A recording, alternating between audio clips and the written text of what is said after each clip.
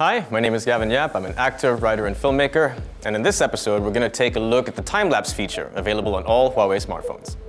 The time-lapse feature is basically just a cool way of showing the passage of time. And for me, it works really well as a transitional tool when you're transitioning from one scene to another, but with a little bit more visual flair. How to shoot time-lapse on a Huawei smartphone. First, go to the camera. And then after that, go to More. Once you're there, click on time-lapse.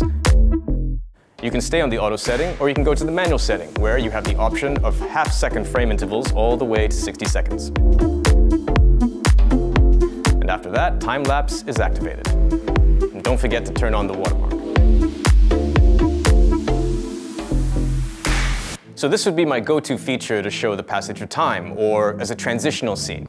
So for example, if you are going from day to night, you can get a time-lapse shot of the sun setting before you move into your next scene, which takes place at night. Or as an establishing shot, if you wanted to show the energy of a bustling city, you could have a time-lapse shot of heavy traffic throughout the day. At the end of the day, this feature, it's a tool to help you tell your story better. But how you use it is entirely up to you.